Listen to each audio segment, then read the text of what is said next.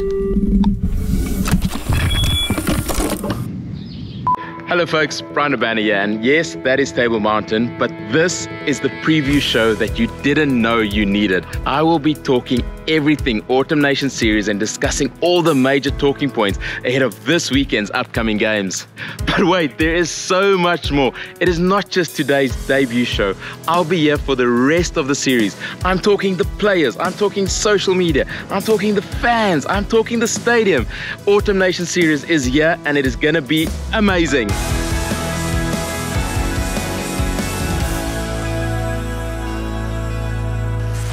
So this is the Cape Town Stadium where the Springboks played their last home game on South African soil against the British and Irish Lions back in August this year. Now it's time to welcome fans back to the stadium and it has been absolutely brilliant to see fans flocking back to the stands on the domestic scene. It's time to see that happen on the international stage.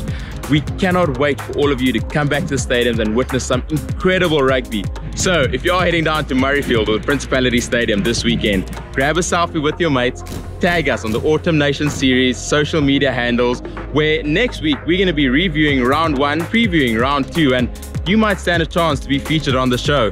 But now, let's get back to talking about the real things. Let's get back to the rugby.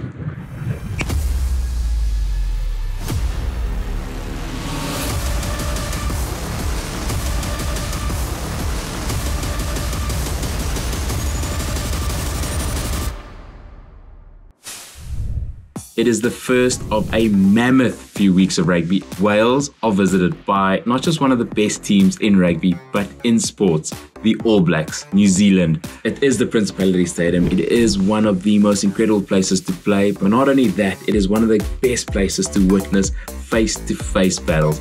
Alun Jones coming up against Brodie Retallick, world class locks coming face to face, ones that go down as the engine room and the heartbeat of their team. Alun Jones is also currently on 148 test caps for Wales, and could he potentially reach 150 during this year's Autumn Nations series? It could potentially happen against South Africa next weekend, which will also take Alun Jones past Richie McCaw as the most ever test cap player for his country. And the second game of the weekend sees Scotland coming up against the always fiery, always ready for battle, Tonga. And I think for me, Gregor Townsend definitely has one eye on that Rugby World Cup 2023 because he has blooded a lot of exciting young players. And you're looking out for the likes of a Ewan Ashman, a Josh Bayliss, a Rory Darge, a Luke Crosby, players who have been doing phenomenal things for their local teams. And for Tonga, experience most certainly joins their ranks.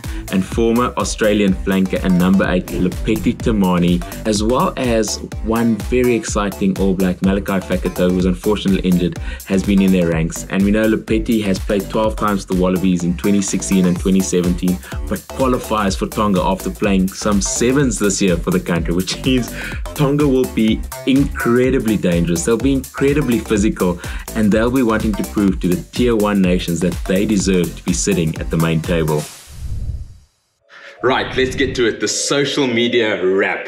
I know that I'm not the only one incredibly pumped for this international series. The players, as usual, have been active on social, and I think they're probably as excited as you guys to get back into the stadium.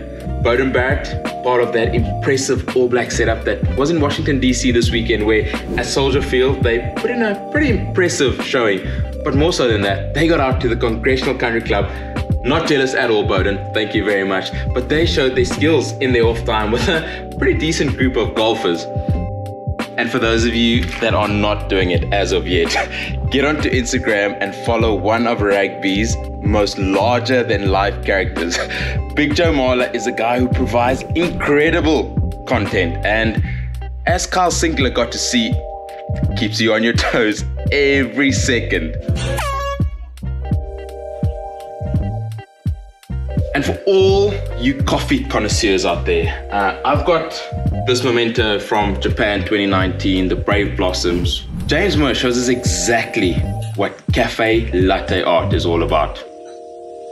Mama.